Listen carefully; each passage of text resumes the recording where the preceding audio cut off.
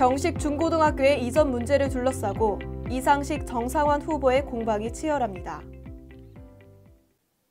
수성을 이상식 예비 후보가 지난 7일 범어 사동에 있는 경신고를 수성을 아, 수성을 이상식 예비 후보가 지난 7일 범어 사동에 있는 경신고를 지산동 수성소방서 건너편으로 이전을 추진하겠다는 선거 공약에 대해 수성갑 정상환 예비 후보가 반박하고 나서면서 신경전이 뜨겁습니다.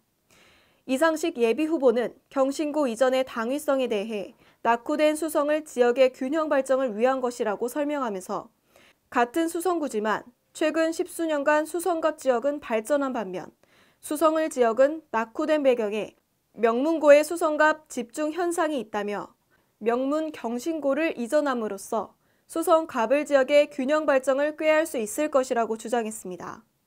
이에 정상원 예비후보는 경신 중고 이전 공약에 대해 오히려 학생 과밀화 심화와 교육 환경 악화, 후적지 개발에 따른 교통체증 가중 등 역기능이 더 많다며 반박했습니다.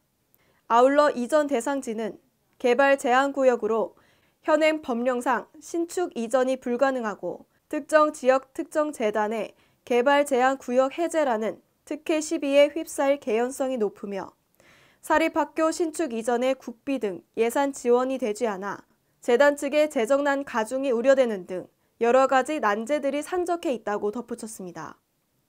한편 이상식 예비 후보는 경신고 이전과 관련해 대구 교육청에서 경신고 측의 경신고 이전 계획이 사실 무근이라는 정정 보도 자료를 배포하도록 부당한 압력을 행사한 사실이 확인됐다며 대구교육청에서 계속해 부당한 압력을 행사할 경우 엄중하게 책임을 물을 것이라고 밝혔습니다. 경북신문TV 전유진 기자였습니다.